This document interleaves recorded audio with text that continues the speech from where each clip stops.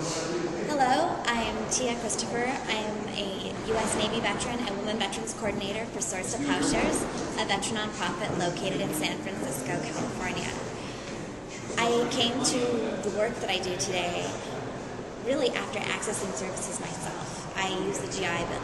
I applied for disability claim, and navigating the system and uh, VA healthcare, it really impassioned me to serve my fellow veterans and both an advocacy role and a direct service role. And I'm really lucky to do that with Swords to Plowshares.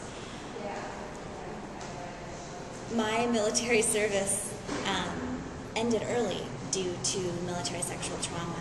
So because of that, I've chosen to be an advocate and speak out.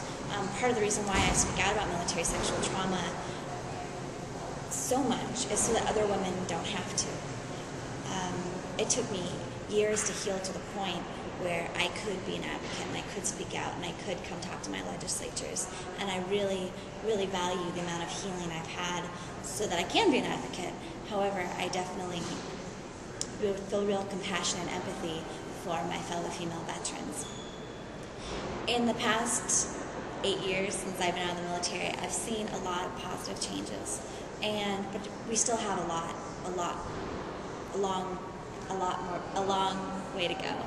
And one of the things the public can do is really just educate yourself about women veterans, what their service is like, what are they doing? What are their jobs? Oh, really? They are engaged in combat in Iraq? Women are flying um, helicopters over Afghanistan? Women are being raped in the military? Women are grandmothers and serving in the military?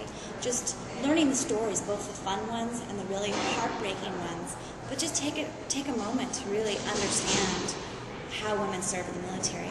And also just pitching in in your community level, reaching out to to the women veterans, to the community nonprofits, to the bases. Um, any any little bit helps. I know that donations of clothing and baby toys and gift certificates have really helped the clients that I serve. So any little thing you can do um, is definitely appreciated. Thank you for standing up for veterans.